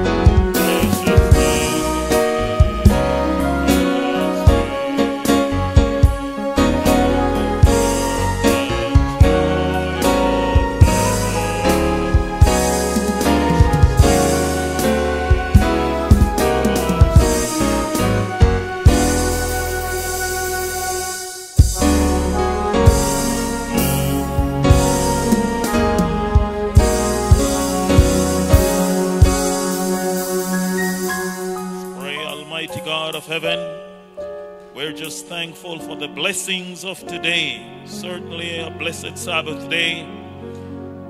Lord, as we face this untried week, we are asking Thee for Thy divine protection to fly the traps and the snares of the enemy that is there. And as what James admonished us to hold on to Jesus, draw nigh to Him, and the devil will flee from us. So be with every worshiper as we leave the courts this evening. And Lord, we look forward for that blessed day when we will sing the song of Moses and the Lamb. We look forward for that day when Jesus will put in his appearing and we all will go home to live with him eternally. Bless us again, I pray. In Jesus' name, amen. Have a good week, everyone.